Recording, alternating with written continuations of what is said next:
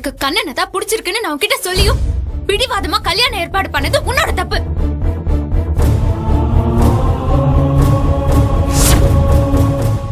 நானா விரும்பி தான் இங்க வந்து கல்யாணம் பண்ணிக்கிட்டேன்.